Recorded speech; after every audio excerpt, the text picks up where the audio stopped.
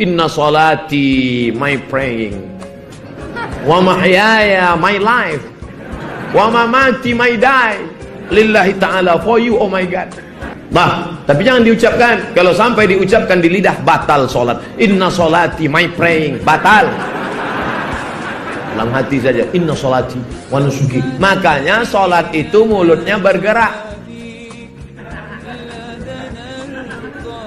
Datanglah sahabat namanya Khabab ibn al-Arth. Ya Khabab, ya, kau pernah sholat sama Nabi? Ya, aku sahabat Nabi, aku sholat sama Nabi. Nabi itu kalau sholat mulutnya bergerak atau diam aja? Nabi kalau sholat mulutnya bergerak.